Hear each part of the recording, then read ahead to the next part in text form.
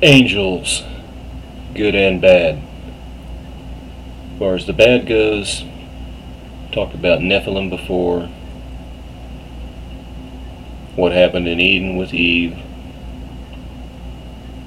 the Watchers coming down, having kids with the women, spawning their evil breed, and how they could conceal themselves. Speaking of the bad ones, meaning they could look like us if they chose to do so. Well, so can good angels, and this is Hebrews 13 too. And you can see in different, there's just one, you can see in different scriptures. Don't forget to show the hospitality to strangers, for by doing so, some people have shown hospitality to angels without knowing it. That's telling you they look like you and me. You see? They can. They could probably look like a tree or a flower or an animal, whatever they choose to do.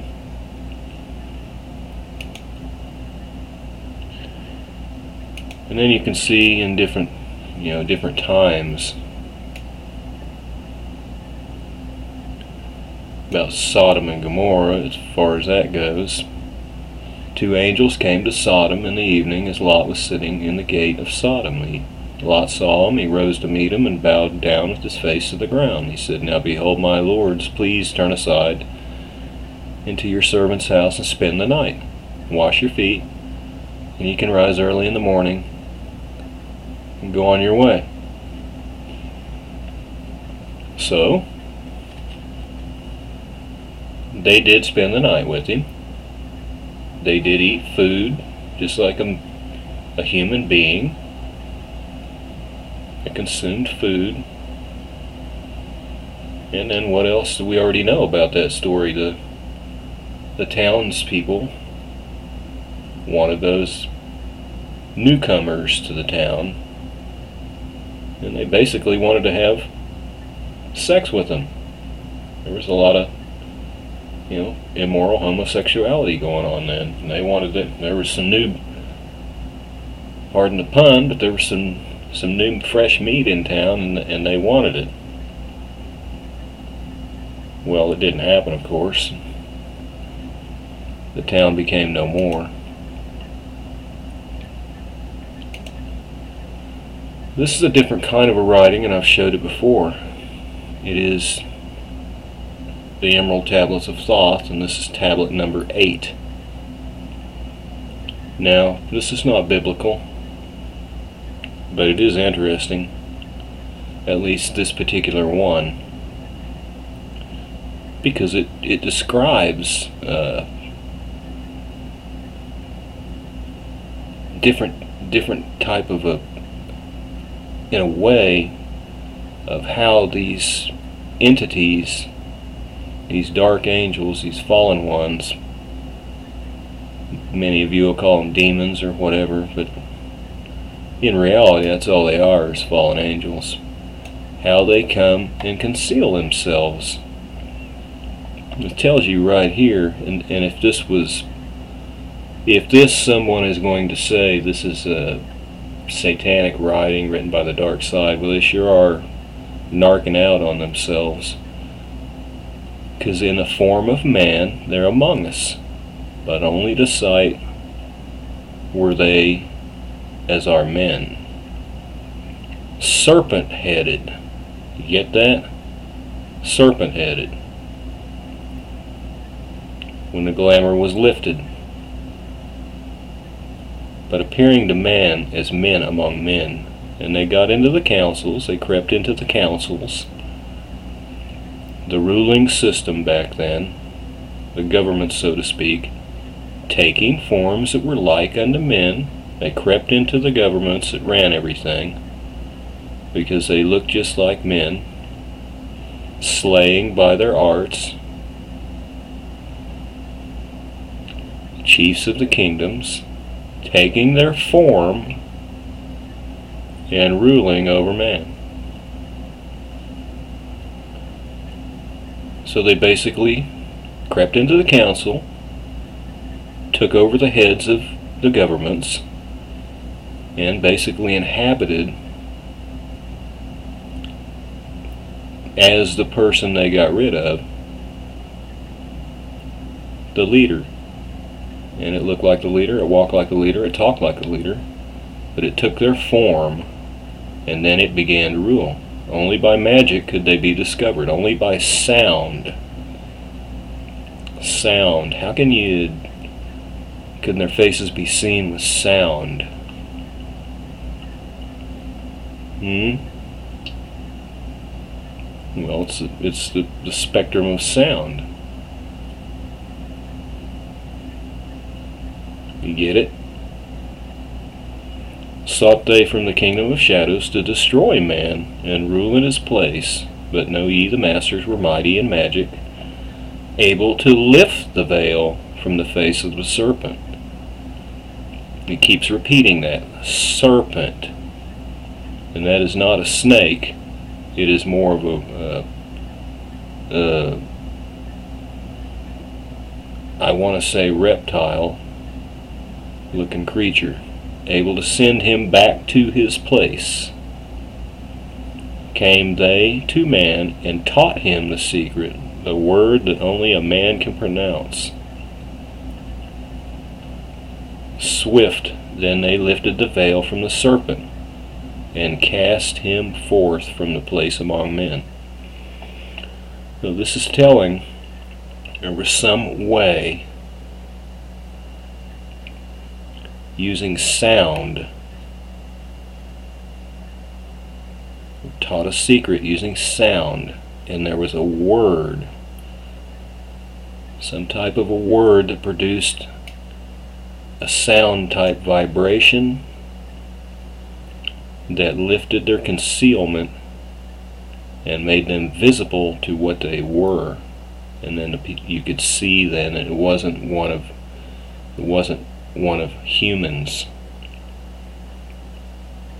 And then they were exposed. And then they were able to get them out of there. It tells you, beware the serpent still liveth in a place that is open at all at times to the world. Unseen they walk among thee, in places where the rites have been said. Again, as time passes onward, shall they take the semblance of men. It's telling you they're going to do it again.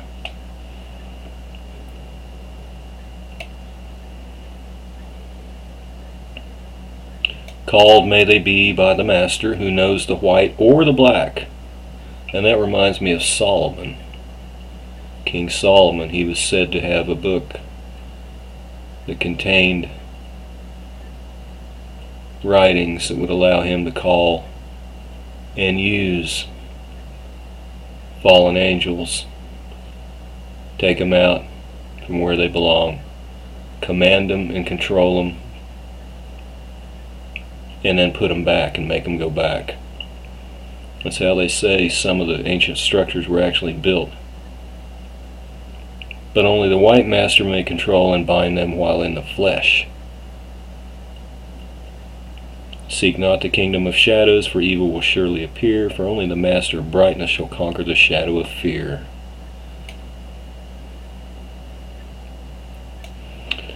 Know ye, O my brother, that fear is an obstacle great. Be master of all in the brightness, the shadow will soon disappear. Hear ye and heed my wisdom, the voice of light is clear. Seek not the valley of shadow, and light will only appear. Are you getting what I'm trying to get you to understand how they can be all around you and you think they're us. Now this tablet is also known as a Smaragdine or Tabula Smaragdina, a cryptic piece of the Hermetica, reputed to contain the secret of the prima materia and its transmutation regarded by European alchemists the foundation of their art and its Hermetic tradition. Although Hermes Trismegistus is the author named, in that text the first known appearance of the Emerald Tablet is in a book written in Arabic, somewhere around the 6th and 8th centuries, first translated into Latin in the 12th century. The layers of meaning have been associated with the creation of the Philosopher's Stone, laboratory experimentation, phase transition, the alchemical magnum opus, the ancient classical and element system, and the correspondence between macrocosm and microcosm.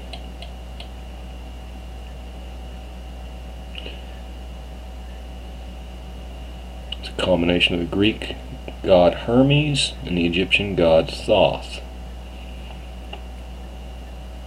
Despite its claims of antiquity, believed to be an Arabic work written between the 6th and 8th centuries.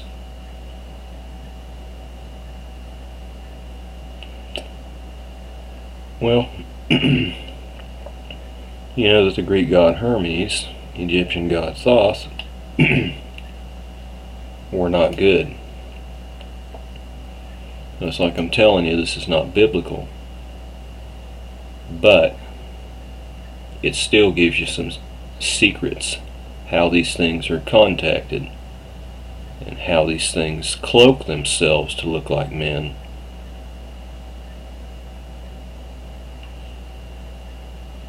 So, you can go back and this would be white magic, so to speak, like the Book of Thoth talked about, where these good angels somehow can make themselves look like us. So, this is God's writing, and we know He is truth and will not lie. Oh, it is telling. Angels can look like humans. And then you have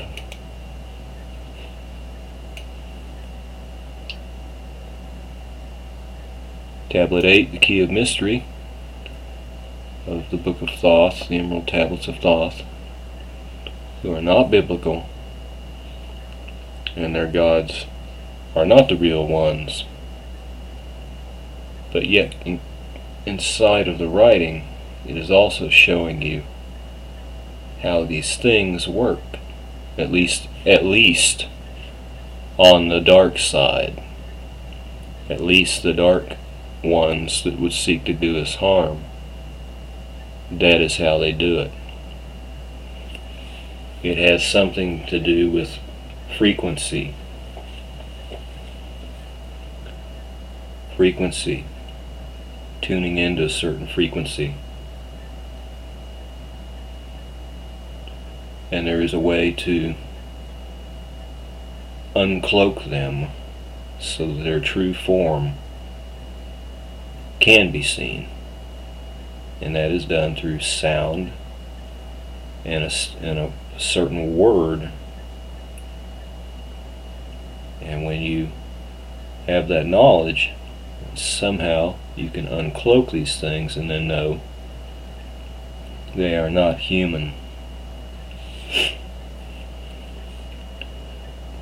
So the leaders and the councils around the world that do the things that we have to live under in the system, that put their boot on our throat and continually hold us back and screw us around well, we're looking at a man or a woman, and it just may not be a man or a woman.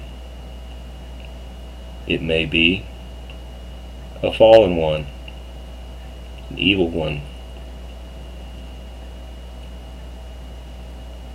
That's what I'm trying to show is that they can and do take the form of men unbeknownst and unseen to us.